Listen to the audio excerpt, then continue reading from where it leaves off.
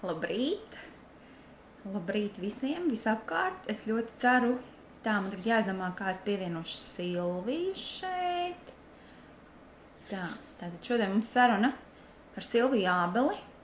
Pastīsimies, kur viņa nospiež. Ok, labi, tas ir aizgājis. Ok, gaidam, gaidam, ka pievienosies mums Silvija. Uh, Silvija, Silvija, es tevi gaidu tā, uh, es mēģinu tev pievienot.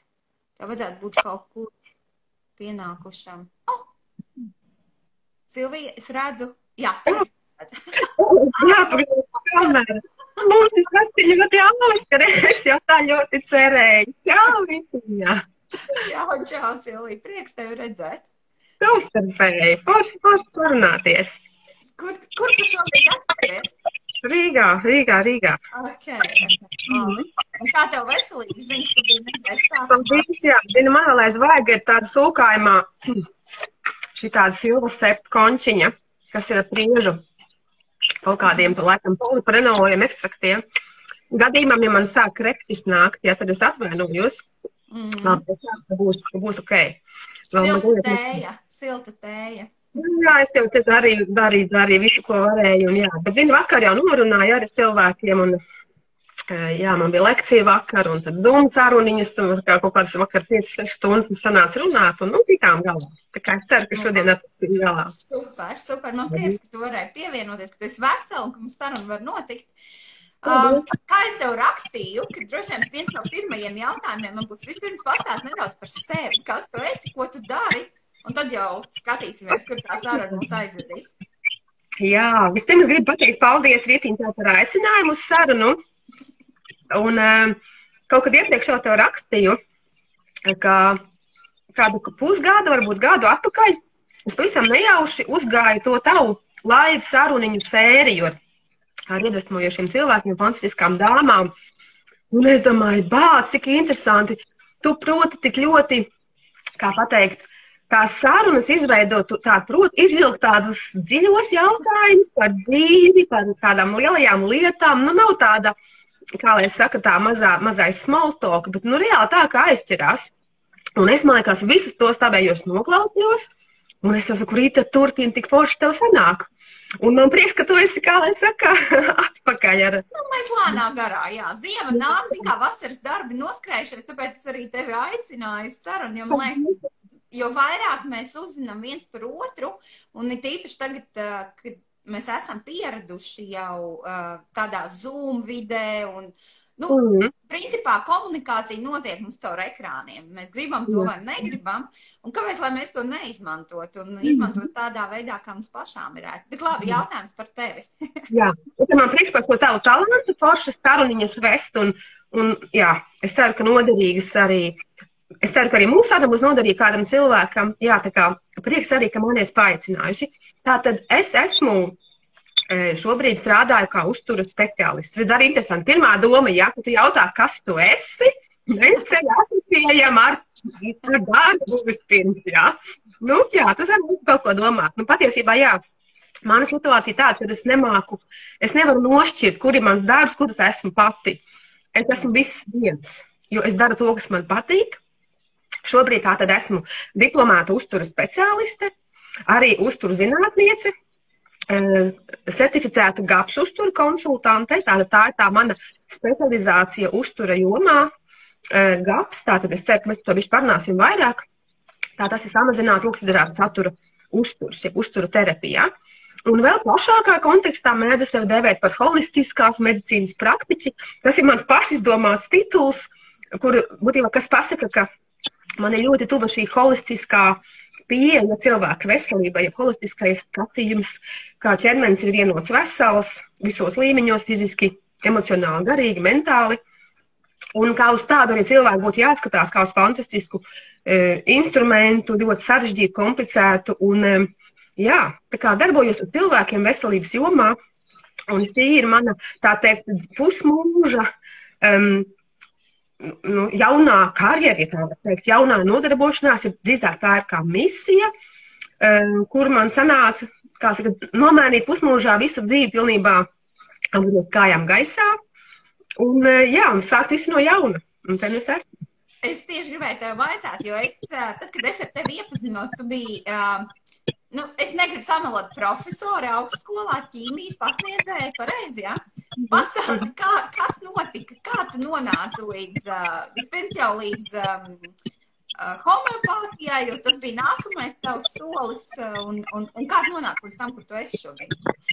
Jā, tas ir, tas ir tāds, kā lai saka, varbūt romāna vērsts stāsts, varbūt kādreiz, mm, nevar teikt, cirmā vecumā, jo cirmams ir klāt sen, bet, nu, tad, kad tiešām nebūs ko darīt dzīvē, tad varbūt arī varu atvēzēties kaut kādām memoāru grāmatai, jo kā jau mums katram ir tā dzīves grāmata, ko mēs rakstam. Un uh, mani bērni, kā mums daudziem, es domāju, ir tie mani lielākie skolotāji. Un, eh, jā, tā tad eh, karjerā, jeb eh, profesionālā darbībā, zinātnes lauciņā, pētniecībā, ķīmijā, universitāte, akadēmiskajā vidē, bija tā mana, nu, arī vienīgā vide, kuru es zināju. Man vienīgā darba bija Latvijas universitāte, Latvijā esot. Un, un man jau joprojām patīk zinātne, un patīk pētniecība, un patīk dalīties zinātnām un mācīt. Bet kaut kā sanāca tā, ka paralēli tiem daudziem darbiem Un arī es teikšu, ka mana tā, karjeras ceļš bija šķietami progresīvs, ja perspektīvs arī uz nākotni skatoties. Un es varēju līdz savā mūža beidzamajām dienām varbūt sēdēt universitātē, kā, kā smējos, kā veca brīļaina profesora, lasīt no veciem nodzeltējušiem pierakstiem studentiem tās pašas lekcijas. Nu, labā ziņa, ka mūsu laika un dinamika jau vairs neļauj sēdēt uz veciem pierakstiem un, un redz arī cienījumiem profesoriem jāapgūst zums un dators un visas lietas. Tā kā, jā, nu es tā kā um, teorētiski tas bija iespējams turpināt tādā pašā garā, bet sākoties, tā kā dzimstot augot bērniem, viņa neizbēgami slimoja. Un, uh, un, es, un es biju toreiz ar pirmo bērniņu, ar otro vēl bērniņu, tā apzinīgā mammīte, kura Nu, veda pie ģimenes doktorīša, tur skatījās visas vakcinācijas kalendārs, lai ir laikā, un lūdzu, reka man pietrūkst viena, un, un, kā, un visas antibiotiku sīrupiņus, var sekot, nu, darīju visu, kā lika doktori, jo doktori man bija uz piedestāla, paši absolūti bez zināšanām, bez pieredzes toreiz, un, nu, tā es doktorēju tos bērnus, un, diemžēl, viņi slimoja biežāk un vairāk un smagāk, un līdz brīdim, kad divi toreiz bērni, iedzīvojās astmas diagnozē. Atceros, bija tā viena ļoti smagā ziema, kad eh, cauri visai ziemai cauri vecākais dēls toreiz klepoja un meklēja viņam tur, ko tur nemeklēja, parazītus, tuberkulozi, visu pārējo. Līdz pavasarī komplektā ar māsu, kas bija sešus gadus jaunāka. Eh, tā kā mums bija epizode bērnu slimnīcā ar diagnozi astma abiem bērniem. Un, eh, un, jā, un attiecīgi visu protokolu, ko tas tur ietver, inhalatorus. Un, un pēc kaut kādas nedēļas, desmit dienām mums palaiž mājā mammīt ar, ar scenāriju bērniem visas dzīves garumā, turpmāk arī pieaugušā dzīvē lietot inhalatorus. Jo astmu mēs taču neārstējam, astmu varam tikai kontrolēt. Vadošā medicīna, e, kā daudzām slimībām, astmai joprojām nav atradusi to, to, to ilg, ilglaicīgo, kā saka, risinājumu, to cēloni piedāvā tikai šo slimību, tā teikt, kontrolēt, vadīt ar zālēm. Nu, lūk, un tad iznākot pēc šīs slimnīcas epizodes, atceros, arī man bija tas stress, ka katram tam ražotājam toreiz taču bija sava veida tas aerosoliņš ar sava veida uzgalīti, kuram vajadzēja piemeklēt eh, elpojamo kameru, jo bērni nedrīkstēja pūst uzreiz apceļos tos inflatorus, tad viņi pārāk stipri vai ķīmiski tur kaut ko nodara vajadzēja tajā starp kameriņā iepūst, un tā tas bērniņš elpo, tad viņam paplašinās asinsvadu apskats, un tad viņam tās lēkmes mazinās vai kā. Un saproti, un es toreiz tā izmisusi mammīti, kurai divi slimi bērni, lekcijas studentiem jāgatavo, kaut kur fonā vēl mamma, vecāki, ģimene, viss. Un es skraidu pa to Rīgu, un vienā aptiekā ir vienas firmas inhalators, otrā aptiekā ir otras firmas kameriņa, un es nevaru, es skrienu pa to Rīgu un nevaru sameklēt, salikt kopā to kameriņu ar to aerosolu uzgalīt. Un es domāju, bāc, ja šajā pasaulē kāds grib manus bērnus veselus, kāpēc tie ražotāji nevienojas par viena veida uzgalīšiem, visiem tiem aerosoliņiem, lai es varu nopirkt viena veida kameru un viss ir vienkārši. Tak nē, Katram ražotājam vajag piesaistīt savu klientu, turēt uz savas kameras, Un es varu sakot, bija tik nikni par to, ka man jau tā ir grūti, un man vēl jāskrien pa aptiekām, jāmeklē, kur kas atrodas. Un kaut kādu, man liekas, nedēļu, pusotru mēs tiem bērniem beigās sadabūju tās kameras.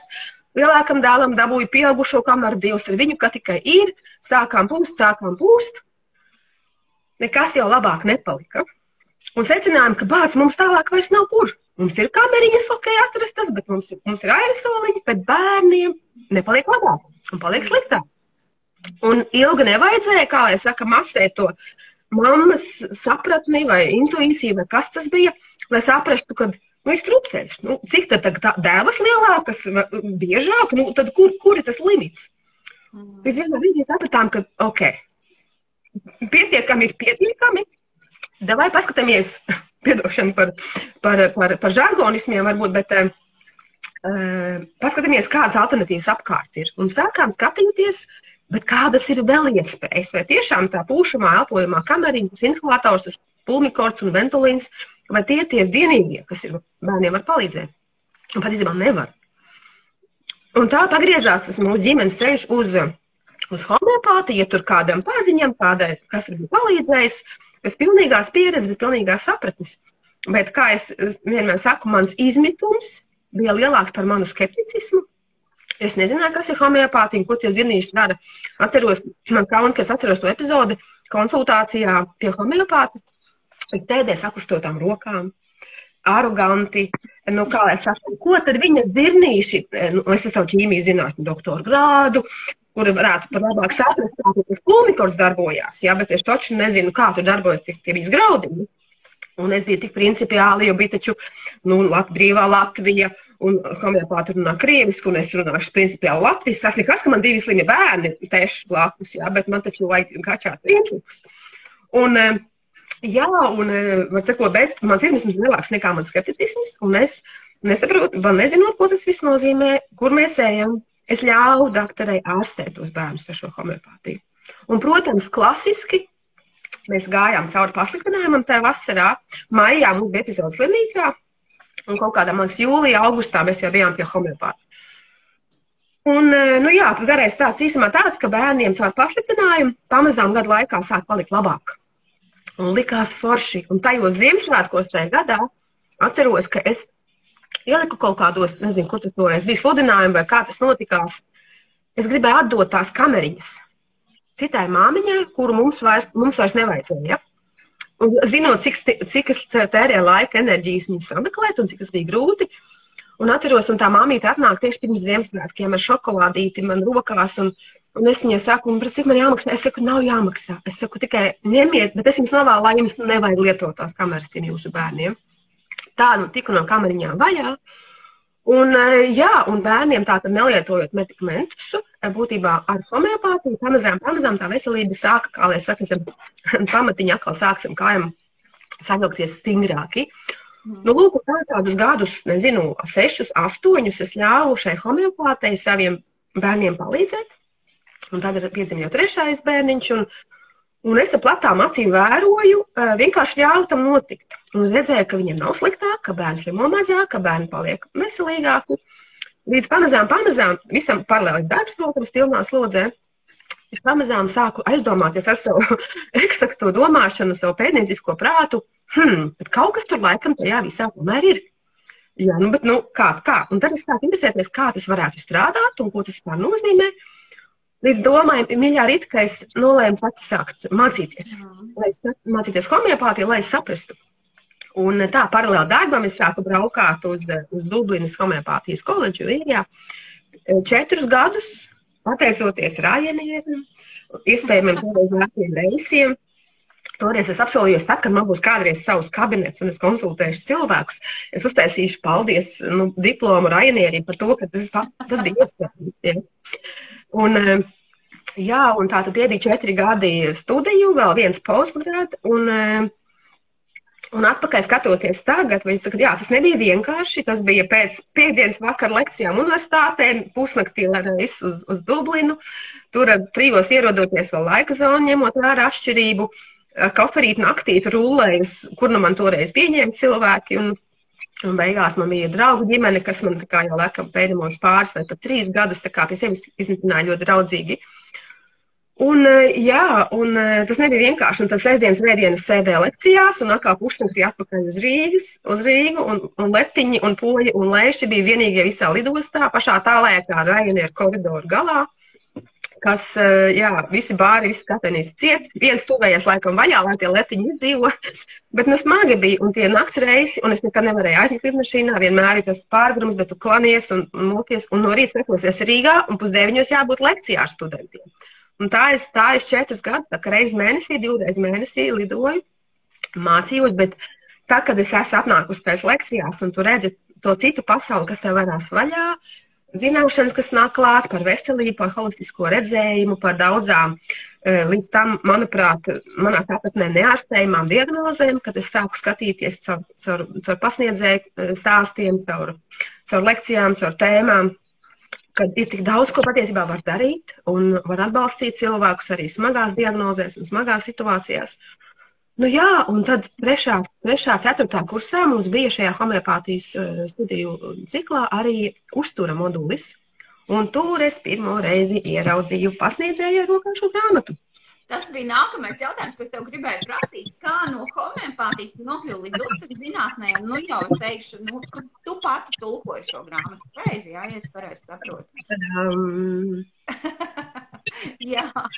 Es esmu projekta autore, projekt, pro, idejas, idejas autore, projekta autore, projekta vadītāja, eh, tulkojuma rediģētāja, redaktore. Tā kā jā, es esmu diezgan daudz laika veltījusi arī tulkojuma slīpēšanai, tāpēc arī savu vārdu pieliku kā otro tulkotāju blakus. Bet oriģināli man bija tulkoja, kā es saku, lielo tulkošanas darbu veids Līvija Bulfa. Grāmatiņa ir eh, kā komandas darbs, Un e, te ir tā kā jā, cilvēki brīvprātīgie lasītāji pieteikušies uz, uz, uz kļūdu izķeršanu, un, un, un arī, kā es saku, tik un tā ir palikuši grāmatņā kļūdas. Tas ir veselīgi manam ego, manai pašapziņai saprast, ka pasaule neapstājās un es esmu joprojām dzīva. Pat ja grāmatā ir kļūdas un cilvēki man viņas parāda, tas ir, tas ir tikai normāli un cilvēcīgi, lai cik acu pāri lasītu to grāmatu, kaut kādā laikam beigās septiņi, astoņi cilvēki vienalga, katrs kaut ko palaiž garām, katrs kaut ko nepamana, un īstenībā jau saturu cilvēku lasa. Un grāmata ir ļoti, ļoti vērtīga, neskatoties uz to, ka tur ir, ir pa kādai kļūdiņai. Un eh, mēs tā kā izlabosim uz, uz nākamo tirāžu, kā viss ir kārtībā. Bet jā, tā ir šī atpakaļ pie šī brīža, ka uh, uztura moduls mums bija tātad uh, 3. 4. kursā katru semestri, tātad četras reizes bija vesela diena veltīta uzturam. Un pasniedzēja nāca priekšā un runāja par daudzām uzturu terapijām. Un viena, viena no tēmām bija šī, tātad Gatans psiholoģijas sindroms, jeb, kā Latvijas iztulkojām, remošanas traktu un psiholoģisko traucējumu sindroms. E, tātad ir par to, ka e, sakārtojot zāļu traktu, zāļu veselību, mēs varam uzlabot daudzas mentālās, mentāli neloģiskās problēmas, lai neteiktu diagnozes, kas ir zvāka. Un, e, un man bija acis platas, kā autisms, kas tev zvāka, šizofrēnija, depresija. Un depresija ik pa laikam savā periodiem savā dzīvē esmu bijis pazīstama, jo, nu, vienkārši, kad ir pārslodzi, kad ir visi pa daudz, kad ir, nu, gulda un apdomā dzīves jēgu un priekš kam viss īstenībā, ja? Un, eh, un es domāju, kā? Es biju sapratusi līdz tam, kad, nu, ir tādas, ir, ir, ir, ir, ir ģenētiski noteiktas lietas, ir, piemēram, autisms, kuru nevar nekādā veidā neko tur mainīt, un, un toreiz jau Es zināju, laikam, vienu attālu ģimeni ārzemju draugiem, kuriem bija viens bērns ar autiskā spektra traucējumiem. Nebija jau uz katru stūri šis, šis kā pateikt, um, nu, termins vispār, jā, sastopams. Un, bet man sapratne bija, nu, nabaga vecāki, nabaga bērni, tu neko nevar darīt, arī kā viņam nepaveicās šausmas, šausmas. Un tad, kad atnāk pasniedzēja un rāda, ka ar uzturu, tātad, ja tās, ja tās situācijas te ir zvāka, tas nozīmē, ka tur var kaut ko darīt ar to uzturu. Labi, bet pastāsti man, kas ir tas, kas, nu, kā, kā tas notiek? Tu maini uzturu un kas notiek? Mm -hmm. Ok. Nu, labi, bet tagad, jā, tad nobeidzot šo stāstu, mana uz, interese par uzturu un tā potenciāla veselībā vienkārši uzsprāga, sapratne mainījās, jeb sāka mainīties, un es nolēmu, ka es pabeigšu homeopātijas koledžu, es iešu pie šīs dakteres mācīties, jo viņa ņēma tikai medicīnas speciālistus, ārstus, dietologus, homeopātus, nu, ar medicīnas izglītību pamatājot cilvēkus. Un to es arī izdarīju. Un tā es pēc homeopātiskā koledža beigām kļuvu par GAPS konsultanti, certificētu GAPS konsultanti. Un ar to es arī darbojos pārsvarā. Un atpakaļ skatoties, redzu, ka tā homeopātijas koledža un tās studijas man iedeva iespēju pakāpties, lai ieraudzītu vairāk, tālāk. Un tagad es esmu izstudējuši Latvijā visu, ko par uzturu var izstudēt, arī bakalaurus, arī, arī maģistrus. Un, un, jā, un priecīgi turpināt darboties šajā jomā. Ar uzturu mainās viss mīļā Rita. Tāpēc, ka uzturs mēs ir tāds. Tas, mēs esam tas, ko mēs ēdam. Pareizi. tā ir tikai puse no patiesības.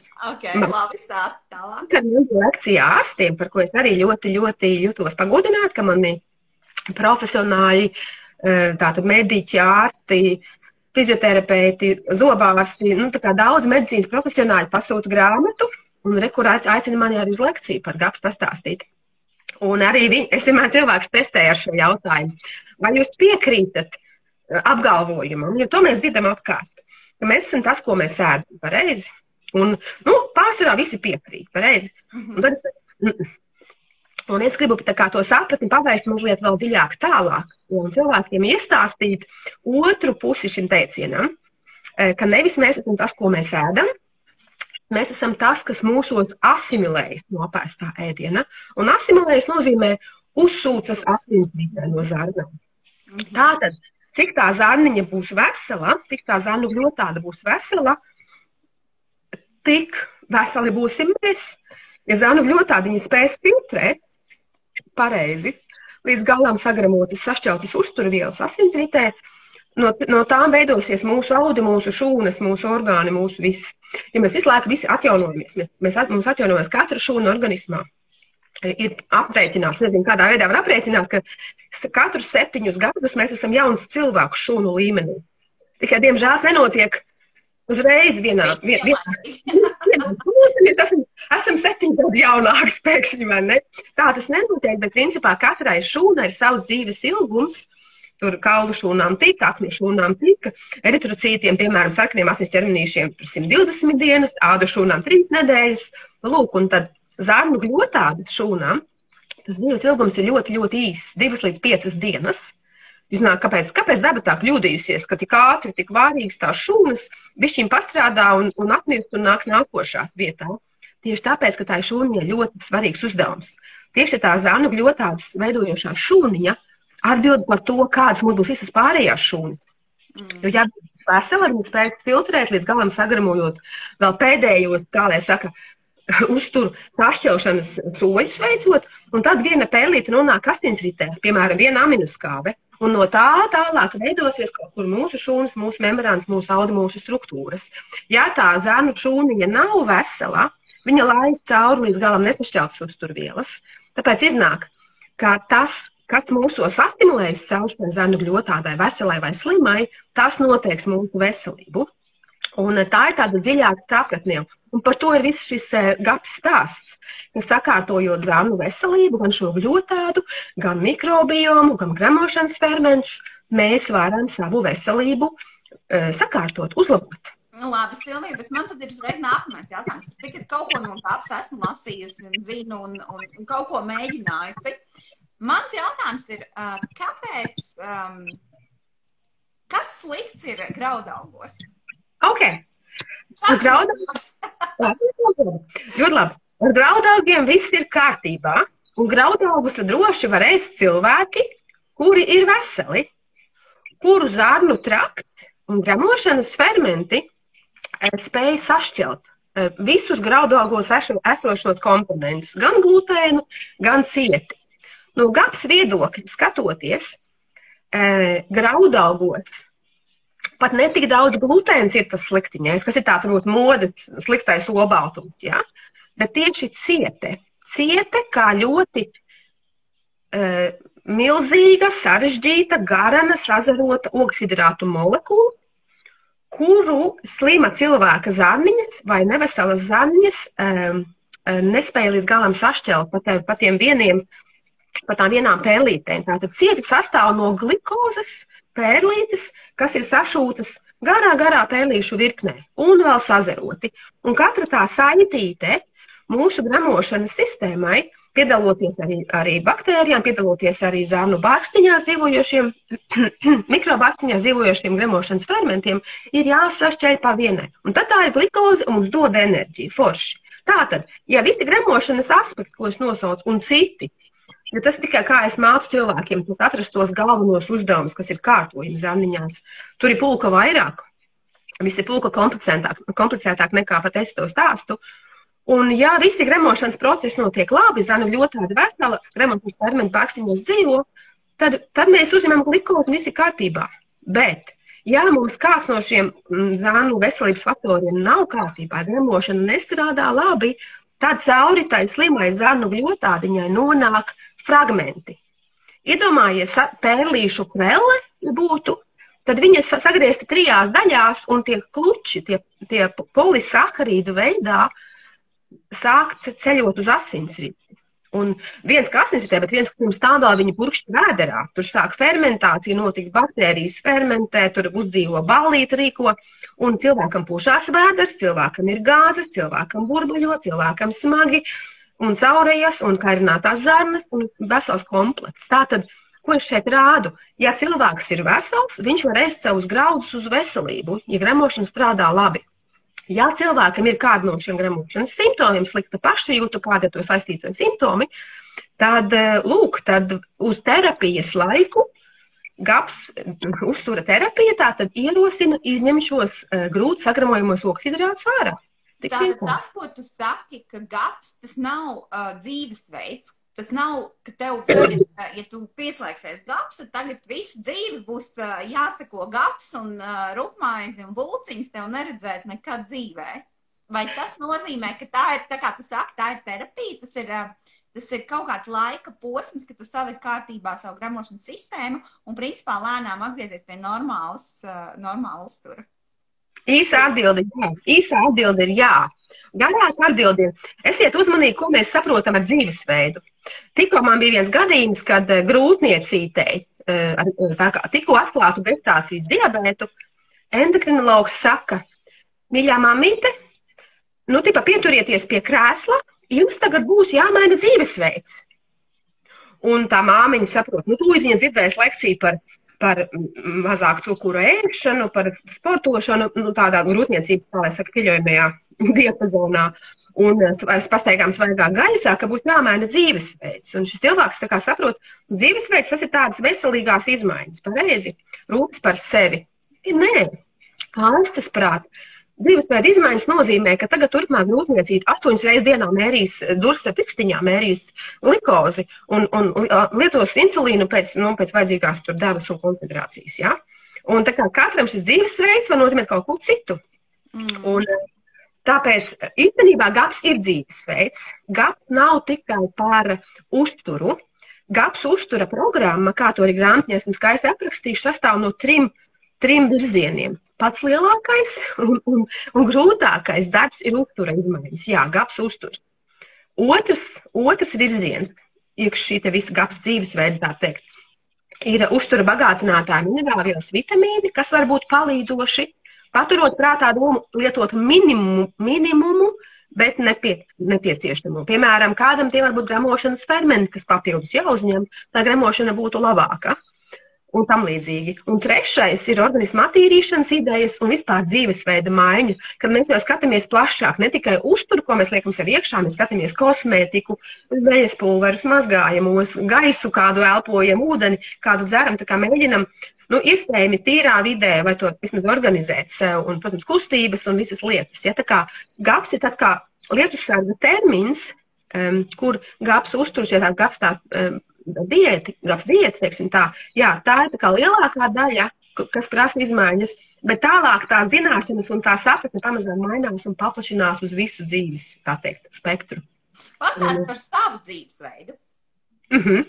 Vai tas ir mainījies, kopš tu esi pazīstama ar GAPS? Es teiktu, ka ir gan, jā, teiktu, ka ir gan. Sākoties um, arī tām homeopātijas studijām, ja nonāc līdzīgi domājošu cilvēku lokā, tie iedvesmojies, kā uzsūta caur šūnām to informāciju, gribot, negribot, un tu redzi un vēro un salīdzini. Tieši um, homeopātijas studiju iespējams dēļ Un uh, arī iepriekšējo dzemdību pieredžu dēļ, uh, piemēram, aizaugu, izaugu kā mamma līdz mājdzemdību idejai, ko arī izdevās realizēt un skaisti piedzīvot.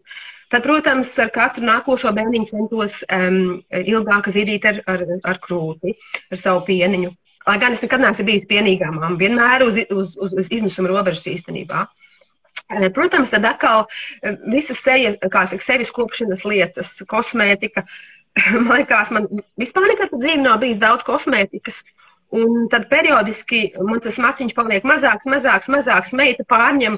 Un tad meita izdzīvo to, ka viņai vajag vairāk, un tur viņa atrodas ar tām trijām kastēm, to dažādu toņu, pasteļu krāsā. Es domāju, nu cik tad var būt tie pasteļu toņi? Nu, nu, tiešām tur viņiem ir jābūt. Tur tik liela atšķirība tajā sejā. Un, un tagad savukārt es vēroju, kā meita atkal izgājas cauri tam maksimumam, jā, ka viņai patīk kosmētika, un viņai gribās krāsoties, un tad ir šis viss jauno meitiņu Instagramā, tur pirms un pēc, un puse tāda, un puse tāda, un, un ka mēs visi gribam būt skaistas, un tas ir tikai forši. Un meita skatos jau arī tagad sāk bir, birdināt no to lieko, un atkal iet varbūt uz mazāk. Kā, un tad, jā, un tad, kad es sāku tās um, apgūt šīs zināšanas par holistisko dzīvesveidu, tad arī radās mans kurantūra bloks, kas gribēja dalīties. Man tik pilns sirds bija, ko es tagad zinu, ko es tagad saprotu. Un es veltīju naktis paralēli darbam, paralēli ģimenei, rakstīju šos blogu rakstus, kas jau ir apkopota informācija par daudzām tēmām. Un arī par kosmētiku, piemēram, es rakstīju, ka, vairāk, ka mazāk ir vairāk, un es aprakstīju to savu skaistumu noslēpumu. Un viss tā kā pamazām tas viss mainījās, un arī pa trauku mazgājumais mainās, un, un, un mikrošķiedras luptiņas atnāk mājās, un tu centies tā kā dabiskāk, dabiskāk, dabiskāk mest nost lieko. Un, protams, uztura izmaiņas. Ja vēl tagad man jaunākam dēlam ir 17, pamēģināšu šādi sarēķināt. Tad, kad viņam bija 3 gadiņi, tātad 14 gadus atpakaļ, ja? Es vēl eh, neko nesaprotu par uzturu. Es vēl nebiju vispār aizdomājies par homeopātiju. Um, um, varbūt jau bijis tagad, jādomā, kas tas nav tik svarīgi, tās datēs. Var sakot, jaunākam dēlam um, austiņu problēmas, vidusavas iekaisums, sāk puikas zaudēt dzirdi. Un es uh, homeopātijas aptiekā, toreiz Dublinā dzīvojot, atradu grāmatu par, par kā izārstēt austiņas dabiskā veidā, dabiskiem līdzekļiem.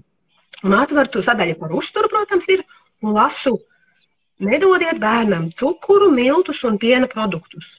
Un es tajā grāmatā blendžu ar savu PhD ķīmijā, postdokā jau strādāju. Nu, kā, nu, tomēr domājošs cilvēks spēdīgi spējīgi saprast lietas. Un es tajā grāmatā skatos un sev uzdodu jautājumu, bet mīļā stundiņa, kāds sakars ir ausīm ar uzturu lūdzu? Pirms 14 gadiem, jā, man nebija ne mazākās nojautas. Bet tā kā bija tik slikta, ka puika tiešām sāka zaudēt dzirdi, Nu, labi, nu, labi, nu, mēģināsim to. Un, un tur to jogurtus tur noņēmām, un nu, tajā sapnē toreiz, jā, tur milts mazāk, un cik nu varējām, tik darījām.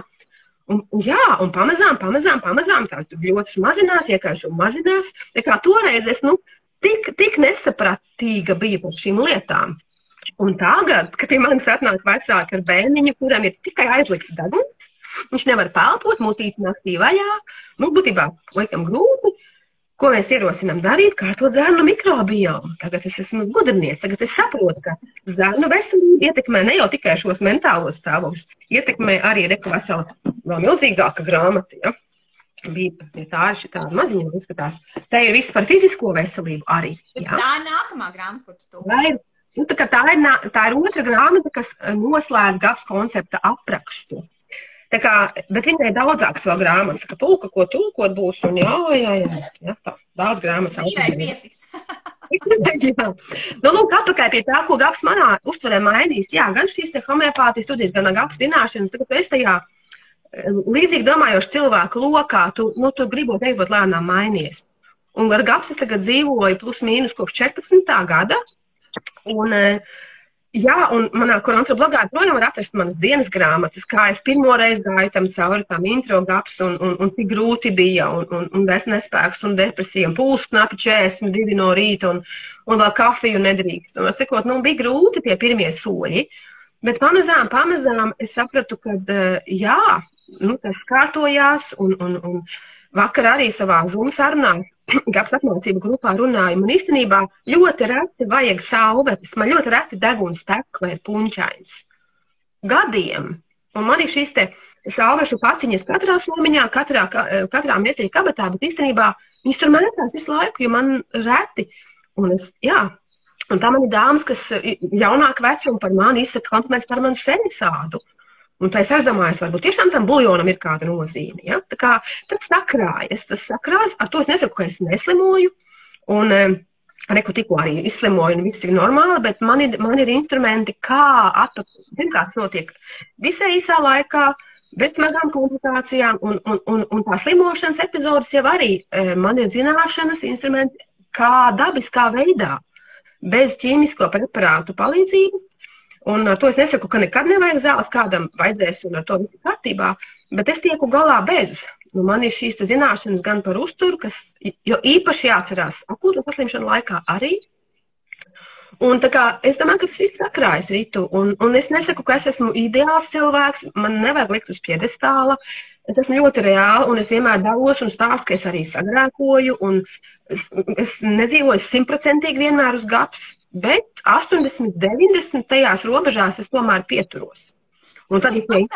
Mm, pastāst man, un droši vien arī pārējiem, kas klausās, kas ir tas tavs, nu, teiksim, es neesmu ne speciālists homeopātijā, ne, ne GAPS speciālists, GAPS nesakoju, bet kas būtu tavs tāds, um, um, nezinu, tava recepte rudenim, kā parūpēties par sevi. Jo nu, mēs, mēs reāli runājam šobrīd par fizisko ķermeni, par to, kā viņš funkcionē.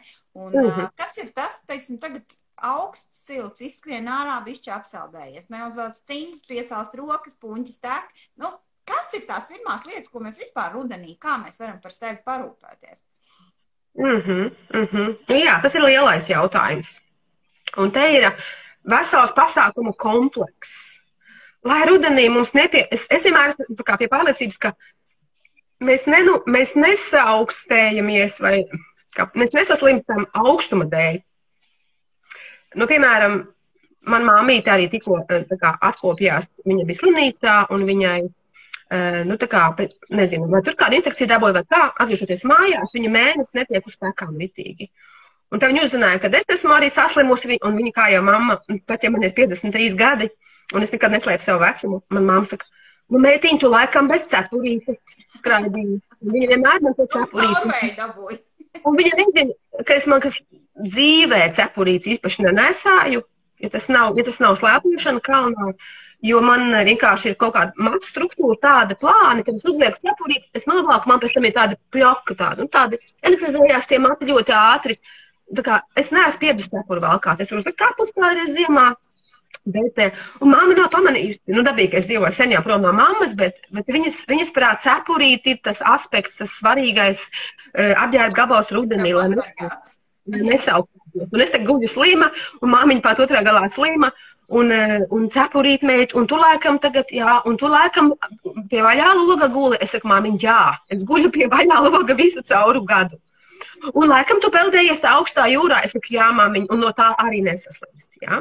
Nesaslimst no augstuma. Jā, tas, ko tu mini, piemēram, ka tu esi varbūt sasvīdis, e, kaut kur mašīnā sēžot, tad tu izlec ārā, tā temperatūras maiņa. Jā, bet manā, manā tādā sapratnē parasti jau pirms tam ir cilvēks kādu laiku krājis kaut kādas ietekmes kaut kas jau sācis pilēt pirms tam, pirms tās liktenīgās epizodes, kad es aizskrienu no mašīnas līdz mājai, tu neuzvilci jaku vai cepurīti. Ja? Eh, tā kā tas eh, ķermeņa, kā saka, ķermeņa spēja pretstāvēt infekcijas vīrusus, viņa nav uh, statiska, viņa ir dinamiska. Un viņa visu laiku ir labila, un, ko, un, to, un to līdzsvaru ietekmē ļoti daudz faktori. Arī kā mēs guļam, cik mums miegs, cik mēs fiziski kustamies, cik mēs esam ārā, kādā gaisā, vai mēs guļam pie tā atvērtā loga vai nē. Protams, ēdiens, protams, stress. Un tā kā visi šie faktori sasumējās un vienā laika vienībā, vienā punktā, tas ir par daudz. Un tad cilvēks kļūst kā lai saka, spējīgs saslimt no garām skrienošā vīrusa, vai vēja, vai temperatūras izmaiņas, vai mugurmitra, vai kaut kas tāds. Mm. Bet tas nekad nav primārais. Cilvēks paliek tam gatavs, jo viņš gatavojās kādu brīdi. Ja? Un, jā, un ko tad darīt? Un ko tad darīt? Kā būtībā man atbild jau ietver, ka rekurūpes ikdienā par uzturu, par miegu, par fiziskām aktivitātēm, par ūdīšanos, par Ja? Kad cilvēks prasa, ko rudenī man sāk darīt, lai es neslimotu, reku, jau vasarā par to bija jādomā. Pavasarī bija jāiet saulē, bija jāpeldās, bija jāsporto, bija jā, jākustās. Un varbūt kādam tas ir augstums, kas palīdz arī ilgāk noturēt to imunitāti spēcīgu. Un tā kā vesels faktoru kopums nav, diemžēl, mīļie, nav viena brīnuma bumbiņa lai homeopātija ir palīdzoša un, un vajag arī izmantot homeopātiju, kad esam saslimuši vai, vai konstitucionāli vai kā, bet eh, tas ir darbs. Vienmēr veselība ir darbs, es saku. Un tas prasa, prasa enerģiju, prasa laiku, prasa pūles. Un redzi, tā zānu gļotādas veselība, ko es runāju, kas man ir mīļa tēmas gremošanas trakts un uztur, kā mēs to varam visu sakārtot. Tajā zānu gļotādiņā ir tā, tā svarīgā šūnas tie enterocīti, kuri veido to zārnu sieniņu, kuriem ir mikrobakterijas, kur dzīvo enzīmi un tā tālāk. Un tā tālāk. Bet tā zārnu gļotādā ir arī imūnās šūnas. Tātad, ja zārnu gļotāda vesela, arī imūnās šūnas tur būs veselas. Un GAPS autoriem mīļa frāze, ja viņi saka, uz grāmatā tas arī ir, ka mūsu imunitāte dzīvo otrā pusē zarnu gļotādai. Tā kā tas tā kā alegoriski, jā, ka Tur pat, patiesībā zanu gļotādā iekšā ir tā imunitāte arī, jo tās imunās šūnas tur ir.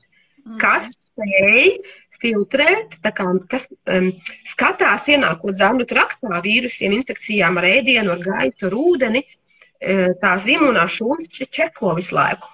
E, kas ir mūsējais, kas nav mūsējais. Ja? Un, ja tur nav mūsējais, viņas tur savērojās un sāk attiecīgi likvidēt to visu. Tā kā uzturs ir pamats gan veselībā, gan slimībā. Un, un Latvijā mēs esam, kā lai saka, ļoti gudra nācija, ļoti gudra tauta. Mums ir spēcīga šī tautas medicīna, šīs senču zināšanas par ķiplokiem, par sīpoliem, par dzērvenēm, par medu. Mums ir medus, mums ir propolis. Piemēram, ko es daru, ka man tagad bija valsts ciet un kad arī gulēja pati slima. Es to nosauku, ko es darīju. Daļu es ieliku tur Facebookā, jā. Ja? Tā buļļons, kad apetīte at, at, at, atpakaļ sāk manam atgriezties. Um, propolis, uh, košļājamais propolis bērniem, kā kožanīti var būt.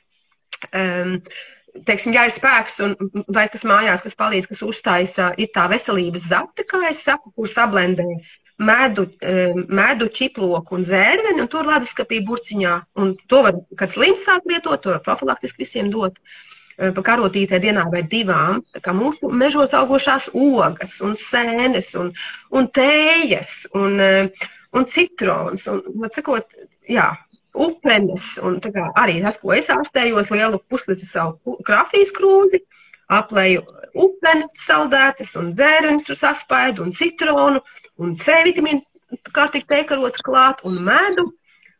Kādreiz balzāmiņš mazliet šotiņš nodara klāt, ja vajag vēl izkarst nakti vai kā.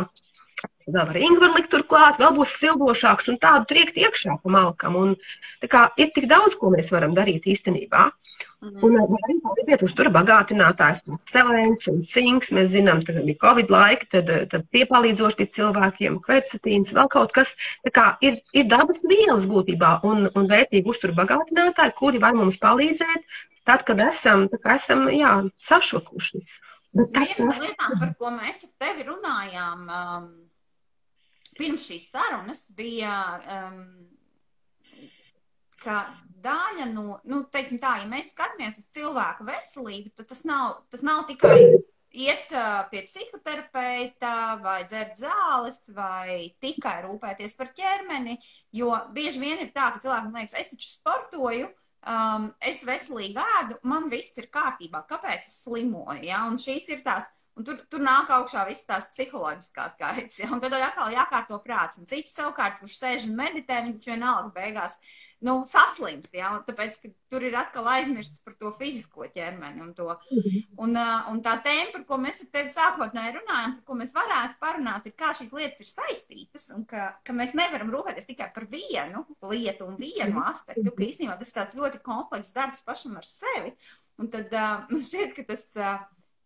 Uh, tas brīdis, kad tu cilvēkam pasaki, ka nu, tev ir jādara tas un tas un tas un tas, un beigās tur ir tāds milzīgs saraksts, tas šausmīgi aizbiedē. Un ka tajā brīdī, kad tu ieraugi to, kas tev būtu jādara, lai tu parūpētos par sevi, lai tu mazinātu stresu, lai tu 8 stundas gulētu, ja?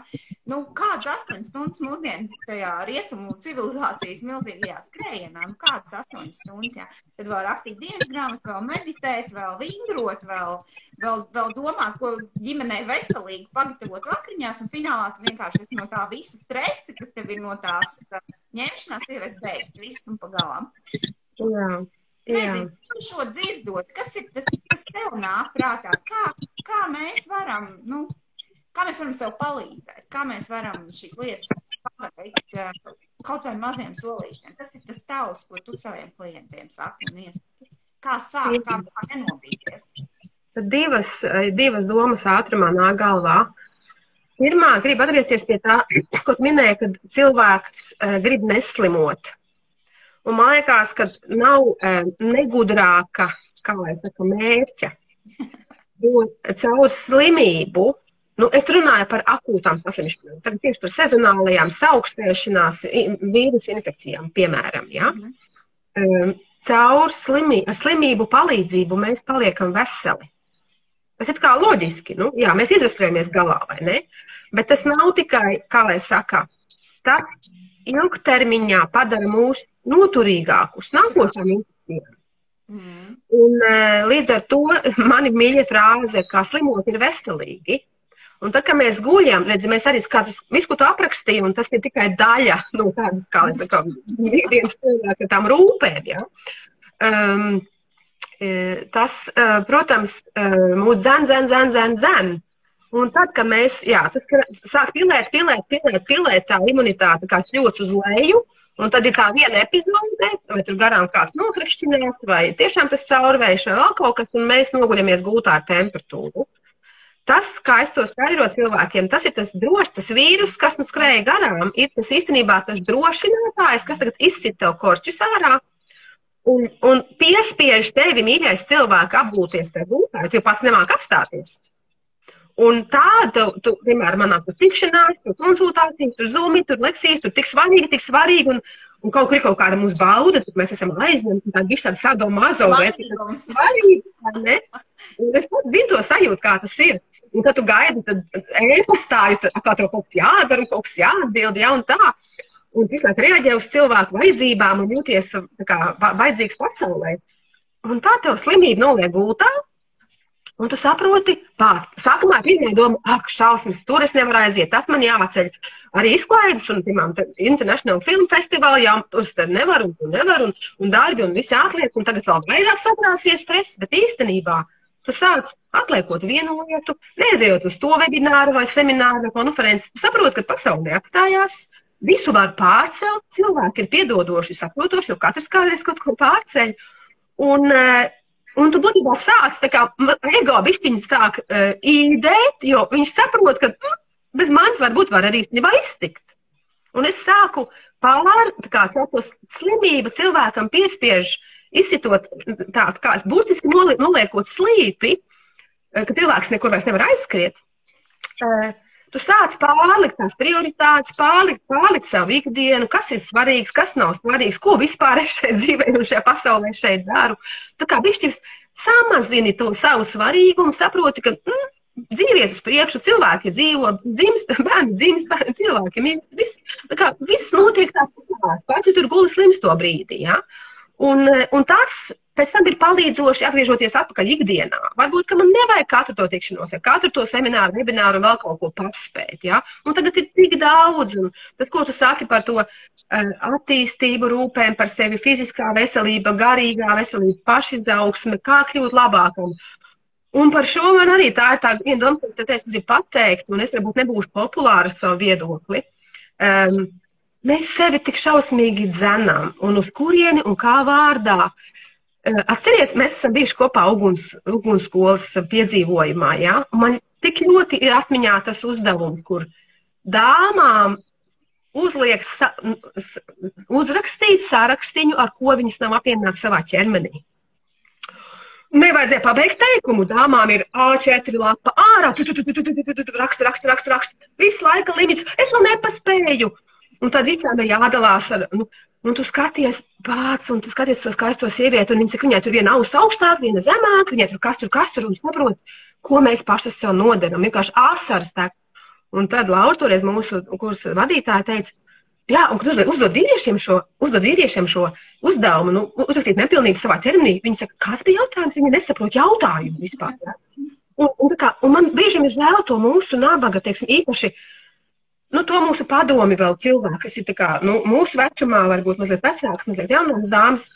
Man liekas, mums sievietēm Latvijā vispār kā, nu, tā vidēji aritmētiski ņemot, mēs, mēs sevi tik ļoti, um, kā pateikt, mums ir pašapziņas problēmas, kā, kā, kā Latvijai kā tādai, ir, ir grūtības sevi pieņemt. Pateikt, es esmu gana laba, un gana skaista un mīlama, un pašai iedot sev to pozitīvo. Uh, ka mums visu laiku vajag atzinību no, ār, no ārpusē. Man saka, būt maksimāli skaistām, nedod divas eh, sirmām, nē, un jaunām mūžīgi. Un, un kas to visu pasaka? Un ka, ka novecot ir, ir grēks vai kādam izdodas nenovecot, atvainojos. Bet, cikot, tas, ko mēģinu šeit pateikt, Rītu, ka, ka mums tik ļoti sabiedrības spiediens, pašu pasapzi, pašapziņas problēmas, Visu laiku mums saka, es neesmu gana laba, es neesmu gana laba, es neesmu gana laba. Un tad atnāk coachings kurš saka visu cieņu Rita tev un, un superīgiem kočiem, kas ir atbalsts cilvēkiem pašizaugsmē. Un viena no šīm frāzēm - es sacenšos ar savu šodienas versiju, var cikot, rītdien man jābūt labākai kā šodien. Un rītdien es, un, un parīt es atkal gribēšu būt labāka nekā rītdien. Un šodien es esmu labāka nekā vakar. Un tas būtībā tiem uzliek uz tādas never ending, nekad nebeidzamās uh, var sakot, vispār taisnes, ka tu nekad nebūsi laba. Un ka tu tagad turpinies labi, tu, jā, tu rītā būsi vēl labāka, un tu tevi sevi, un sevi drāmas, un tu pletē, kad, bet kad es būšu gan laba beidzot, kad es varēšu, uf, apstāties, izelpot un teikt, zini ko, patiesībā es esmu gan laba šodien, un varbūt, man nevajag katru dienu sevi mocīt. Es to Silviju varu pastāstīt, man bija, es biju kaut kad Facebookā ielikus jautājumu, kas notiktu ar pasauli, ja pēkšņi mēs no rīta pamostos un mums visa pierakta. Jā. Mums būtu, mēs vienkārši paskatījāmies apkārt saprast, jā, bet mums jau viss ir. Mums, mums neko vairāk nevajag. Īstenībā dzīve ir skaista. Nu, un kas notiktu? Nu, vienkārši ekonomika sabruktu, esošās iekārtas sabruktu, un tad ir, tas, un tad ir visu laiku tas, kur ir tas vidusceļš, kā mēs varam, jo, jo redz, nu, nu, un otrs jautājums, par ko es vienmēr jautāju, arī ir, um, kas notika, ja cilvēks no rīta pamostos un viņam vairs nebūtu bail par, eh, nezinu, tur, nezinu, ka viņš nav, tā kā tu saki, ka viņš nav pietiekoši labs, vai, vai, vai ka viņu eh, nemīl, vai ka viņu, bet ka viņš un viņš teikt, vārds, bet es esmu, es esmu, es esmu superīgs tāds, kā es esmu, man no kā nav bail, man nav bail, man atlaidīs no darba, man nav bail no tā, man nav bail no šitā. Man liekas, ka tas ir otrs jautājums, kas sabrutinās esošo iekārtu un esošo sistēmu, tāpēc, ka Nu, tas ir tas, kas mums dara uz priekšu. Tas, tas ir tas, kas mums liek skriet pēc kaut kā, un, un kad mēs neesam pietiekoši labi. Un tāpēc es nezinu, nu, teiksim, tas mans, nu, tas ir atkal vēl viens teiciens, ko es no Lauras kaut kad ļoti sen aizņēmusi, ir šī sadala ziloni pa gabaliņiem. Ja, ka, ka nevajag, ka mums nevajag šos te, nu, tā kā es saku, cilvēks ieraug lielo A4 lapu, kur viņam ir piecos jāceļās, jāraksta dienas grāmatas, sešos jāiet meditēt, septiņos jāiet peldēt, astoņos vēl jāapspēj bērni aizvest uz skolu. Jā. Viņš vienkārši to ieraugs, nē, nē, nē, nē, es neko no tā negribu. Vai arī tajā brīdī ir tā motivācija, ka jā, es darīšu, un paiet divas nedēļas, un viņš vienkārši ir sabrucis, tāpēc, ka mēs nevaram tik liels izmaiņas savā dzīvē vienlaicīgi ieviest. Un uh, es vienkārši skatos tagad pulkstenī, lai mēs ietilptu šai stundas sarunā. Tas, ko es tev gribu pajautāt, jo redz, um, Nu, es pats pēc sevis zinu, ka man ir ļoti svarīgi, ka tad, kad es uzsāku jaunas lietas, ka man ir šis uh, cilvēks, kas pietur roku, uh, iedrošina. Un es zinu, ka to arī organizē arī GAPS, uh, apmācības seminārus, pastāst kaut ko varbūt burtiski pāris minūtēs, kas tas ir. Un varbūt kur tevi var atrast, ja kādam ir interese pievienoties. Un, un, un, man liekas, ka tas Tieši tas ir tas mērķis, viens mazais solīts, kas var savā lapā izdarīt. Kā praktiski par sevi parūpēties. Mm, jā. jā, paldies par jautājumu, Ritu. Um, tas ziloņa dalīšana pa gabaliņiem ir tieši tas, ko es arī daru GAPS apmācību ietvaros. Jo mēs visi tagad zinām, mūsdienās Hipokrāta teicienu, ka visas slimības sākas zarnās. Ko tas nozīmē? Es gan piebilstu, parasti arī veselība pats sākas. Un tulkot Hipokrāta teicienu, mēs saprotam, ka, ok, es sakārtošu zārnas un es būšu vesels. Bet jautājums, ko nozīmē sakārtot zārnu traktu? Un tas ir tas lielais zilonis. Un tad es viņu dalu pa gabaliņiem, pa mazākiem soļiem. Un tā kā jā, arī īpaši iznākot gaps grāmatā, bet jau pagājušajā gadā ar intro gaps izaicinājumiem, tā kā es sāku veidot grupas, slēgtās grupas Facebookā, tā kā atbalsta, atbalsta pasākums, atbalsta uh, jā, nu, izaicinājums cilvēkiem, kas grib dzīvot ar GAPS, mācīties GAPS principus, principus uzturā. Šogad pēc grāmatas iznākšanas pirmo reizi palaidu GAPS pamata diētu, to tādu plašāko, vienkārši dalot produktus, jā, nesarakstiņos, mācoties tādā veidā pēc GAPS dzīvot, pēc šīm receptītēm, kas te ir atbalstot cilvēku, pieturot pie rokas, kā tu saki. Un tad ir šis intro GAPS, kas ir dziļāks, ir terapeits līmenis, īsāku laiku, kur es vedu cilvēku cauri, pati to darot līdzi šos introgaps posmus. Un, eh, jā, tas ir tāds eh, veselības restarta iespēja. Par šiem abiem izaicinājumiem, par šīm abām apmācībām var uzzināt manā mājaslapā silvijābele.com. Un eh, šis te um, gaps, trīs mēnešu kurs tūlītās jau oktobra beigās beigsies. Nākamais būs janvārī. Bet intro gaps tūlītās oktobra beigās tikai sāksies. Tā kā vēl ir iespēja pieteikties. Uh, Tā kā mūsu pirmā diena būs 1. novembris, kad mēs sākam jau ēst, dzīvot, gatavot pēc tā uh, uh, introgaps izaicinājuma principiem, pēc tā protokola, bet tā kā, būs pirms tam četras dieniņas kā, ielikt grupā, sagatavoties, uzvārīt buļļonu, nopirkt lielo katlu un kauliņus un tā. Tā kā tas tāds mēneša, precīzāk 35 dienu kā, kopā piedzīvojums cilvēkiem nelielā slēgtā Facebook grupā, atbilstošā vidē, kur mēs arī tiekamies Zoom saruniņās un apmainamies pieredzē. Un, kā, cilvēkiem ir arī lekciju materiāli. Kā, ne tikai cilvēki dara, arī mācās kopā to gaps visu. Bet, bet tu arī dalies ar receptēm. Tas nav tā, ka jūs tagad uzvāriet buļļonu un, un kā. Nu... Jā, man tagad ļoti labs palīdz grāmata, kurā receptes. Jā, okay, līdz ar... Kur var nopirkt grāmatu? Arī manā mājaslapā pagaidām, tā kā grāmatiņai ir šī, šobrīd, tā kā trīs mēnešu laikā, kopš grāmatiņa iznākusi, ir, ir apmēram 90% ir izpārdoti, bet vēl ir pieejamas grāmatiņas no pirmās tirāžas. Manā mājaslapā Silvijā vēl kom, tur ir neliels e-veikaliņš, tur var arī to pasūtīt. Tad, kad mēs izdosim atkārtoto tirāžu, tad varbūt es arī kādā grāmatnīcā kā skatīsimies, kā mēs varam vienoties tur. Pagaidām, jā, es pati pieņemu pasūtījumus, skaisti mīlestības apakoju, izsūtu un ar omnivā un, un tā, tā kā grāmatiņa joprojām ir pieejama, jā.